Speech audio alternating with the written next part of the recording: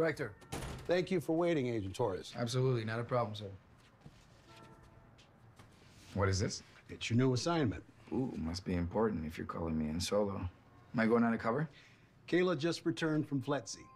She's beginning her field training, and I want you to be her FTA. Oh, so babysitting your daughter. My daughter just graduated basic agent training with flying colors, but still, I would like someone to keep an eye on her. Of course. But why me? I've already selected a first assignment. A reservist Navy surgeon suffered a heart attack mid-operation. Hmm, a heart attack. Of course. Sir, uh, we don't investigate those. Today you do. Should be simple enough. Yeah, simple, right? My daughter, she's smart, she's resourceful, and she wants to prove herself here. No sounds says she's gonna make a great agent, sir. Yeah, but she can also be impulsive.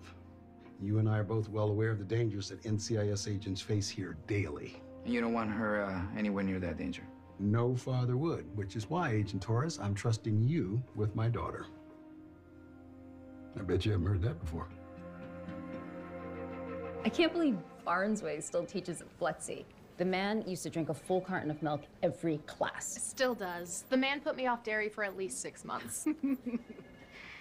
Do you have an active case? If not, I can check in with the tip line. Oh, look at her, just chomping at the bit to get started. You got that first day glow. Oh, I miss that. I don't. You know, first year's all about being saddled with extra paperwork, a lot of practical jokes. I'm telling you, being a probie is, is rough.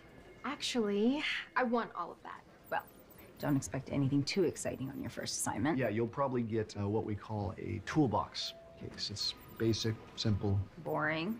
Kleicha, anyone? National Cookie of Iraq? Dig in, Kayla. So, uh, what were we talking about? Our first times.